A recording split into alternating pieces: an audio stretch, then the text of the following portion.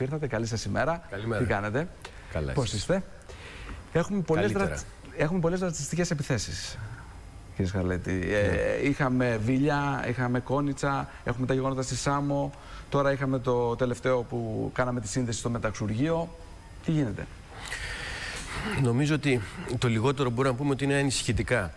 Βεβαίως ε, το τελευταίο διάστημα έχουμε μια επανεμφάνιση, διότι θυμόσαστε και πριν από μερικά χρόνια είχαμε ε, τέτοιες επιθέσεις, οι οποίες στις περισσότερες των περιπτώσεων ε, ήταν καθοδηγούμενες τότε από την Χρυσή Αυγή. Θυμόσαστε ότι κατ' επανάληψη στα δελτία ειδήσεων βλέπαμε οργανωμένες επιθέσεις των λεγόμενων ταγμάτων εφόδου. Αυτή τη στιγμή νομίζω ότι... Έχουμε επανάληψη; Ε, κοιτάξτε να δείτε. Με αφορμή μια περιραίουσα ε, ατμόσφαιρα ακόμη και στην κεντρική πολιτική σκηνή η οποία ε, υιοθετεί μια ε, ρατσιστική ε, διάλεκτο μια ε, ρατσιστική και συντηρητική τελικά ε, καλλιέργεια ε, λογικής ε, είναι επακόλουθο το να βλέπουμε τέτοιου είδους ε, καταστάσεις. Εδώ πέρα όμως νομίζω ότι πρέπει όλες πολιτικές και κοινωνικές δυνάμεις ε, να μιλήσουμε ξεκάθαρα και να υψώσουμε ένα τείχο απέναντι στην μυσαλλοδοξία και τον ρατσισμό όπως και να εκφράζεται αυτός. Όπως και να εκφράζεται αυτός γιατί είναι πάρα πολλά τα πρόσωπα αυτής της ε, ε, αντίληψης και το βλέπουμε να εκδηλώνεται με πάρα πολλούς ε, τρόπους. Είτε με το να αρνούνται σε μικρά παιδιά να φοιτήσουν στα σχολεία Σάμο, για απλά και παράδειγμα. μόνο απλά και μόνο ε, με βάση το γεγονός της διαφορετικής ε, καταγωγής τους. Και αυτό καταλαβαίνω ότι είναι απάνθρωπο το λιγότερο. Υπάρχει όμως αυτό μια ενιαία και κοινή αντιμετώπιση στο δημοκρατικό τόξο τουλάχιστον; Ή μπαίνουν αστερίσκοι, μπαίνουν θέματα; Ή υπάρχουν κάποιοι που εν ώψη και εκλογών, μήπως είναι και αυτό των περιφερειακών ε, εκλογών, των τοπικών εκλογών, ότι κάποιοι τοκίζουν σε αυτά τα θέματα; Δυστυχώς όσον αφορά ε, τα πολιτικά κόμματα, γιατί φαντάζομαι ότι εκεί ε, απευθύνεται η ερώτησή σας ε, το, και το υπογραμμίζω το δυστυχώς, εκ μέρους του κόμματος της αξιωματικής αντιπολίτευσης βλέπουμε ολοένα και περισσότερο στελέχη της τα οποία ανοιχτά φλερτάρουν ή υιοθετούν τέτοιου είδους ε, ρατσιστικές αναφορές. Ε, αν κανείς... Είναι ε, σοβαρή καταγγελία που κάνετε. ε, είναι μια διαπίστωση, δεν είναι θέμα καταγγελίας. Είναι θέμα διαπίστωσης. Υπάρχουν ονόματα σε αυτό ή γενικότερα και, είναι μάλιστα, αυτό το και, κλίμα που μάλιστα, εισπράτεται; και μάλιστα προσέξτε, στο βωμό μιας στήρας αντιπολιτευτικής προπαγάνδας δημιουργούν και μια ψεύτικη εικόνα για τα πράγματα. Σήμερα, για παράδειγμα, αν κοιτάξετε τα πρωτοσέλιδα των εφημερίδων, υπάρχει μια εβδομαδιαία εφημερίδα η οποία μιλάει για 800.000 ελληνοποιήσεις ε, ανθρώπων που μένουν στη χώρα μας. Ε, πράγματα δηλαδή τα οποία, τα οποία πού αποσκοπούν. Καταρχήν δεν γνωρίζω αν είναι τόσος ο αριθμός συνολικά των κάθε είδους ε, μεταναστών ε, που οι οποίοι διαμένουν με ε, νόμιμα, παράνομα, εν πάση περιπτώσει ε, έχουν πάρει κάποιοι από αυτούς και ελληνικοί θα γίνουν και είναι πλέον Έλληνες πολίτες. Παρ' όλα αυτά, τι γίνεται, καλλιεργείται αυτός ο φόβος διαρκώς. Επενδύουν κάποιοι στο φόβο, επενδύουν στην μυσαλλοδοξία. Εδώ κύριε Σουλέτη όμως έρχεται και το θέμα των αντιδράσεων για τη Συμφωνία των Πρεσπών. Έχουμε Είναι ένα συναφές ζήτημα. Έχουμε είναι συνεχώς ένα συναφές. αντιδράσεις και να το διαχωρίσουμε, και δεν ξέρω εσείς αν θέλετε να το διαχωρίσετε. Άλλο το να μη συμφωνείς και άλλο το να έχουμε αυτά τα περιστατικά. Τελευταία περιστατικά λοιπόν με τις ε, συγκεντρώσεις που έγιναν στις ομιλίες του κυρίου Παπά. Ε, είχαμε συνθήματα πολύ συγκεκριμένα. Τι γίνεται, σας φοβίζουν αυτές οι αντιδράσεις, αυτές τις συγκεντρώσεις και η παρουσία των κυβερνητικών στελεχών Σε καμιά στη Βόρεια περίπτωση. Ελλάδα; Θα σας πω, σε καμιά περίπτωση. Ω γραμματέας του κόμματος είμαι σε θέση να γνωρίζω από την ημέρα που ψηφίστηκε η Συμφωνία των Πρεσπών έχουν γίνει είτε με παρουσία κυβερνητικών στελεχών είτε ε, με παρουσία κεντρικών πολιτικών στελεχών του κόμματός μας πάνω από 50 εκδηλώσεις στην Βόρεια Ελλάδα. Παρ' όλα αυτά, τα φώτα της δημοσιότητας σταθήκανε σε 10-15 περιπτώσεις όπου υπήρξε οργανωμένη και καθοδηγούμενη παρουσία ανθρώπων που δεν ξεπερνάνε τα δάχτυλα των δύο χεριών. Προχθές, ας πούμε, στην Βέρεια, 10 άνθρωποι ήταν. Παρ' όλα αυτά, υπήρχαν ε, εκεί πέρα ε, τα, τα γνωστά μέσα τα οποία αναπαράγουν και δημιουργούν μια αίσθηση αποδοκιμασίας της κυβέρνησης. Δεν μας φοβίζει αυτό. Ίσα ίσα. Ε, θεωρούμε ότι μας δίνει και την ευκαιρία να μιλάμε για το πραγματικό περιεχόμενο της ε, συμφωνίας, το οποίο το έχει ανάγκη ο κόσμος να συζητήσει επί της ουσίας. Εκείνο όμως το οποίο κατά τη γνώμη μου είναι επιλήψιμο και καταδικαστέο, είναι όταν η αξιωματική αντιπολίτευση δεν καταδικάζει αυτές τις πρακτικές. Δεν λέω ότι τις οργανώνει, αλλά σίγουρα τις ανέχεται και τις ενθαρρύνει με τις πολιτικές Και τις εκμεταλλεύεται.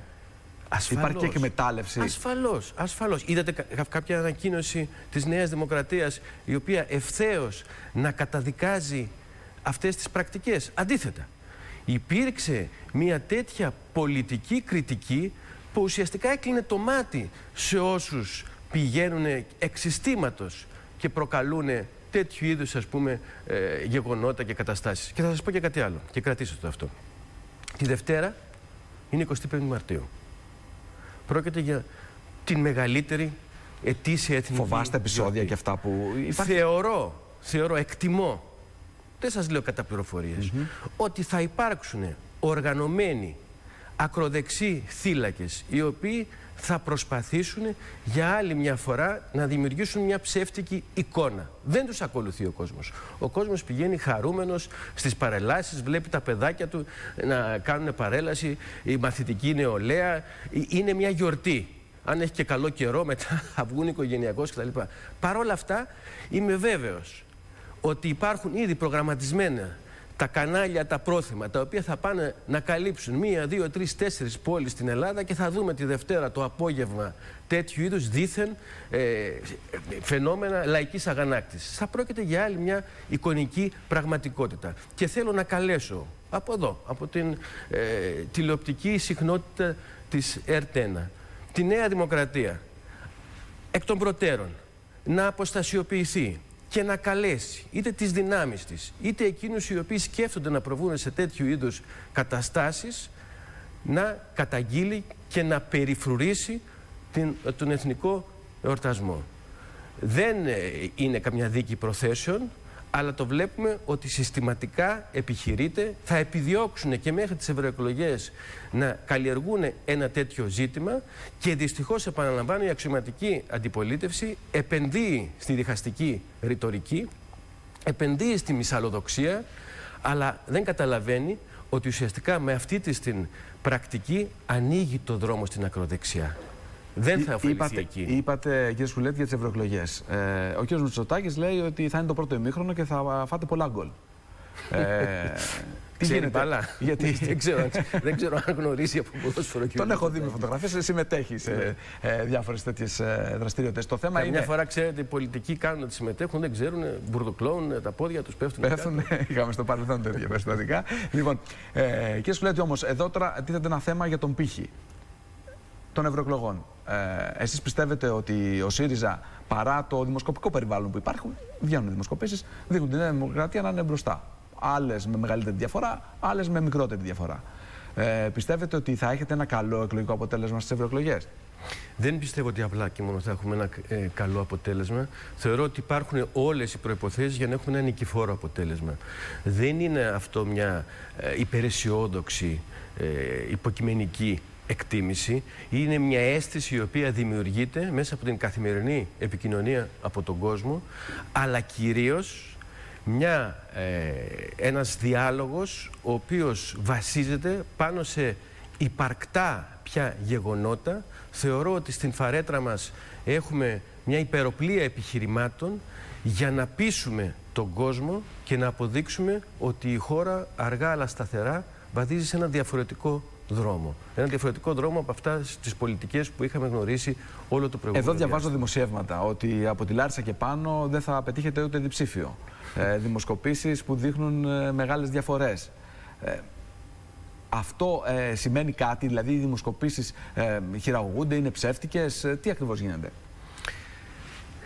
Είναι μια πολύ μεγάλη συζήτηση, όχι μόνο στην Ελλάδα, αλλά σε όλο τον κόσμο, κατά πόσο οι δημοσκοπήσεις ε, ουσιαστικά μπορούν σήμερα με έναν αποτελεσματικό τρόπο να αποτυπώσουν τις πραγματικές τάσεις. Ιδιαίτερα στη σφαίρα της ε, πολιτικής. Δεν μιλάμε για μια έρευνα, για ένα προϊόν.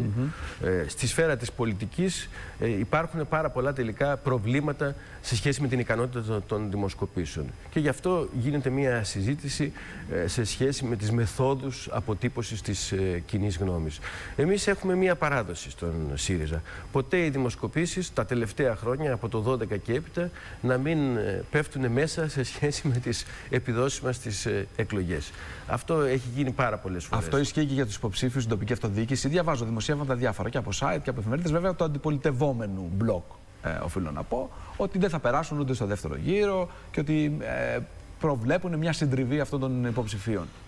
Εντάξει, ε- εδώ πέρα ε, είναι μια προσπάθεια γίνεται ε, καταρχήν με έναν βάναυσο τρόπο ε, να ε, εργαλειοποιηθούν οι ίδιες οι αυτοδιοικητικές εκλογές. Ξέρετε, εδώ και πάρα πολλά χρόνια και θα, νομίζω ότι θα γίνει αυτό πολύ περισσότερο έντονο σε αυτές τις ε, εκλογές, τις δημοτικές και τις περιφερειακές, οι κοινωνίες χειραφετούνται σε σχέση με τις ε, βουλές και τις προθέσεις των κομμάτων.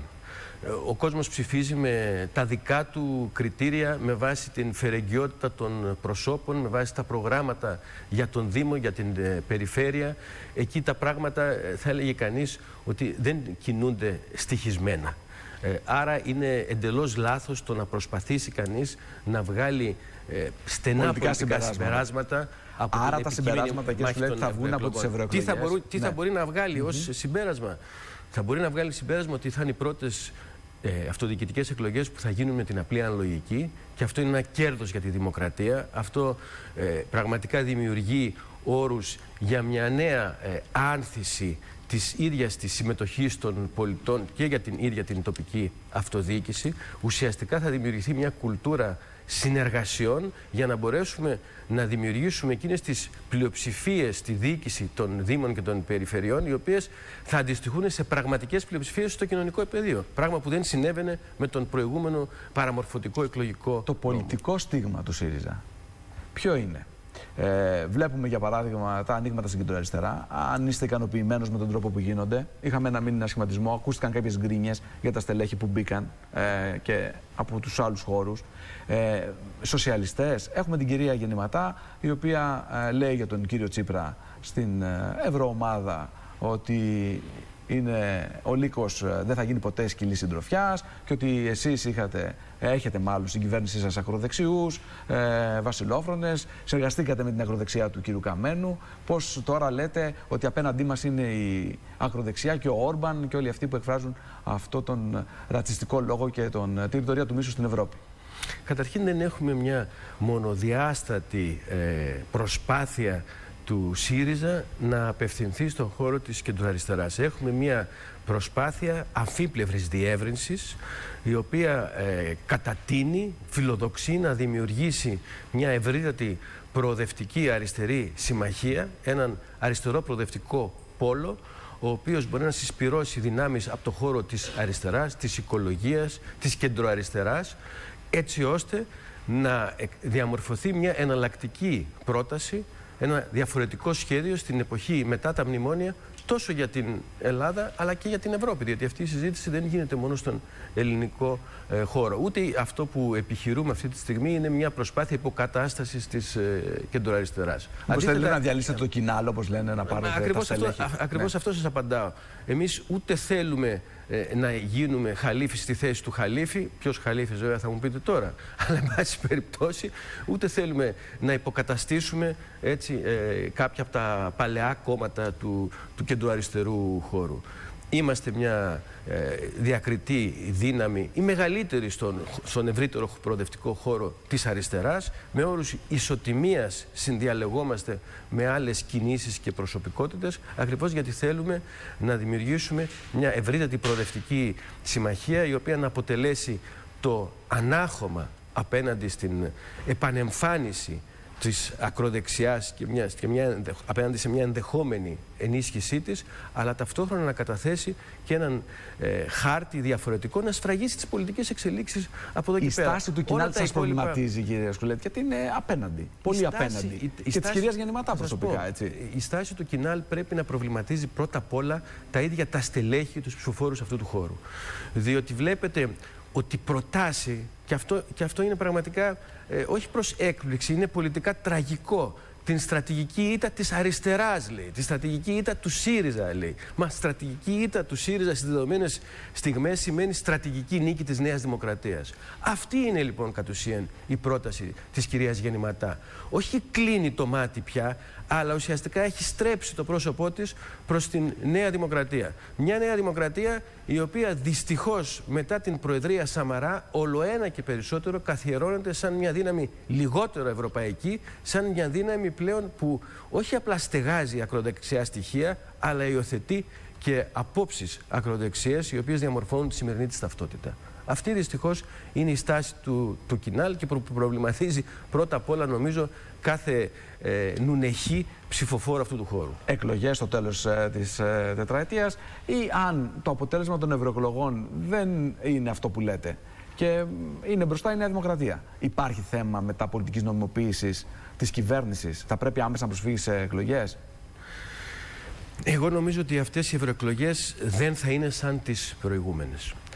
Όχι μόνο γιατί ε, στην ε, Ελλάδα έχουμε περάσει από το 2015 και έπειτα που τελευταία φορά στήθηκε κάλπη πάρα πολλά πυκνά και σημαντικά πολιτικά γεγονότα και θεωρώ ότι ο κόσμος έχει την ανάγκη να εκφραστεί μέσα από την ψήφο του και απολογιστικά για το τι συνέβη όλα τα προηγούμενα χρόνια, αλλά και για την ίδια την Ευρώπη είναι πολύ κρίσιμες αυτές οι ευρωεκλογές. Είναι ουσιαστικά ένα σταυροδρόμι μπροστά στο οποίο θα πρέπει κανείς να διαλέξει ή τη συνέχιση των ακραίων πολιτικών λιτότητας, οι οποίες δημιουργούν νέες ανισότητες και αποδομούν την ίδια την Ευρώπη ή να αλλάξει η φορά των πραγμάτων στην κατεύθυνση μιας πιο, ας το πούμε έτσι, φιλολαϊκής πολιτικής η οποία θα στηρίζεται πάνω στην ε, αλληλεγγύη ε, των λαών, στην εμβάθυνση της ε, Υπάρχει δημοκρατίας. όμως. Προσέξτε να δείτε ναι. λοιπόν. Αυτός ο χαρακτήρας των εκλογών εκ των πραγμάτων τις κάνει πολύ ε, σημαντικές.